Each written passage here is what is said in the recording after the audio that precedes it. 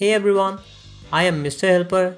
Today's video is about how to find Mafia save file location. Steam user can also follow this video to know Mafia save game location. That's been said, let's get started.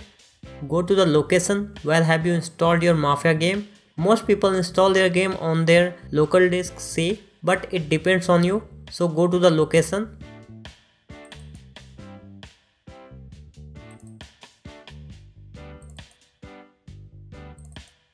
As you can see, I have only one folder inside the Mafia folder. This is because I have not installed my Mafia game yet. But in your folder there will be a lots of files and one folder named as save game. Open save game folder. And right here is all your save files of Mafia 2002. You may have more or less save game files than I have, it's okay. Now I leave it on your choice. You can backup this Mafia save games files or you can overwrite it with a new one.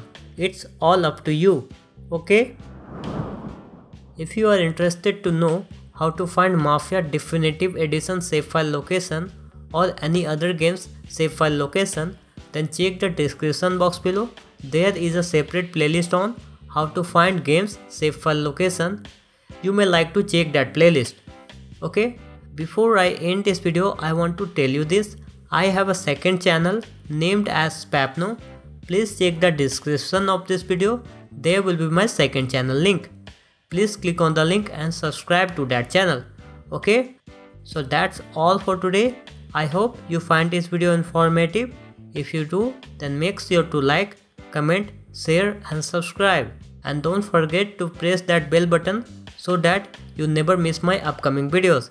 So until then, take care have a nice day and I will see you next time. Bye.